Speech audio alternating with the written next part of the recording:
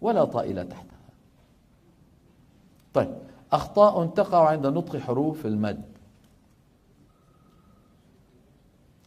أول خطأ يقع في القراء آه، تطويل زمن المد الطبيعي زيادة عن حده وخاصة عند إنهاء التلاوة.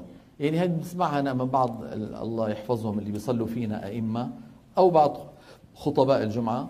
بيقرأ سورة سبح اسم ربك الأعلى وبالأخير بآخرها بيقول لك صحف إبراهيم وموسى. شو فكروا؟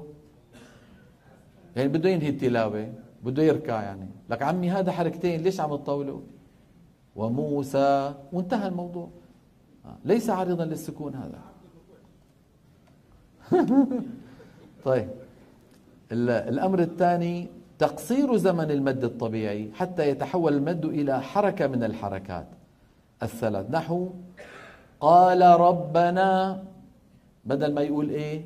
قال ربنا. لابد من المد الطبيعي حتى يفهم بأن المتكلم هما اثنان. لمردودون في الحافرة لابد أن يقول إيه؟ لمردودون في وطور سنين. أه؟ شو بده يقول؟ وطور سينين بوزن فيعيل واضح؟ نعم.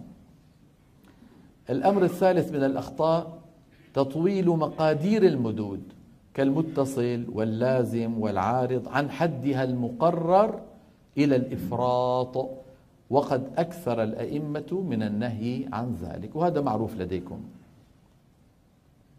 رابعا ختم صوتها بهمزة عند الوقف. هذا اخواني موجود هذا الشيء شايف؟ ولعلكم تسمعوه من بعض أصحاب التسجيلات يعني من المشايخ رحمهم الله. مثلا بده يقول غفورة ويقف عليها بيقول غفورا.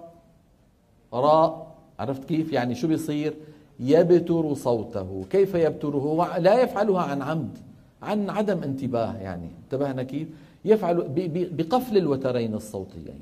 إذا قفل الوتران الصوتيان انقطع الصوت فجأة. انقطاع الصوت فجأة هذه همزة. هكذا نحن نخرج الهمزة. لما نريد أن نخرج همزة ساكنة في النهاية كيف نفعل؟ نقفل الوترين الصوتيين. في السماء هذه الهمزة اللي في النهاية كيف أخرجتها أنا الآن؟ بقفل الوترين الصوتيين فجأة. فانبتر الصوت فجأة فخرجت همزة. فممكن نسمعها من بعض المشايخ الله يرحمهم. يعني في إحدى بعض التسجيلات بيقول لك وكان الله عليما حكيما. سمعتوا؟ حكيما. فهو ما فعلها عن عمد لكن عن عدم التركيز يعني الله يغفر لنا جميعا. هذا لا يقلد في فلان أو فلان ولو كبر شأنه لأنه بيكون زيادة حرف في النطق. ما هو الحرف؟ الهمزة. نعم. هذه أمثلة تعدل يصير تعدلوا مثلا نسقي يصير نسقي كل هذا ما بيصح وإنما الصوت يا إخواني الصوت المد لما بتوقف عليه يتلاشى ويتخامد شيئا فشيئا. عرفت شلون؟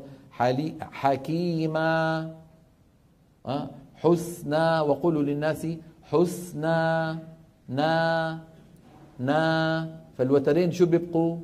بعد والصوت يتلاشى. انتبهنا كيف؟ الأمر الخامس خلط صوتها بشيء من صوت الغنة. طبعا هذا للأسف موجود ومنتشر. وحله سهل جدا التدريب. التدريب يا أخواني. انتبهنا كيف؟ يعني من أيام الإنسان ما بينتبه أو فكره أنه عم يجمل صوته. فبيقول أعوذ بالله من الشيطان الرجيم. بسم الله الرحمن الرحيم. عم يقرأ وعم يضغط على أنفه. أه؟ يعني فكروا أنه عم يزين القرآن بصوته. يا أخي زينه لكن مو بهالطريقة هي أه؟ نحن ما نقل إلينا أن الغنة في لغة العرب تكون إلا مع مين مع الميم والنون فقط. ما تكون مع الواوات ولا تكون مع الياءات ولا تكون مع الألفات. هذه الحروف الثلاثة أصواتها صافية. انتبهنا نستعين. طيب كيف أنا بدي أعرف أنه الياء عندي صافية ولا مو صافية؟ سهل جدا. سد أنفك. اسمعني. نستعين. اختل الصوت. لأنه ما في شيء من الأنف. اسمع الآن. نستعين. اختل الصوت. شو السبب؟ أنا الآن تعمدت أن أخرج غنة من الخيشوم.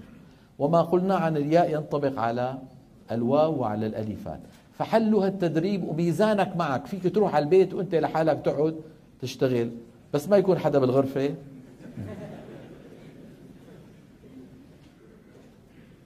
هذا ما يتعلق ببعض الأخطاء التي ممكن أن تقع عند نطق المدود. هلا بدنا ناخذ قاعدة. بدها شوية تركيز. اللي بيحب يتمطمط واللي بيحب ياخذ نفس؟ اسمها قاعدة أقوى السببين. ناخذ نصف دقيقة.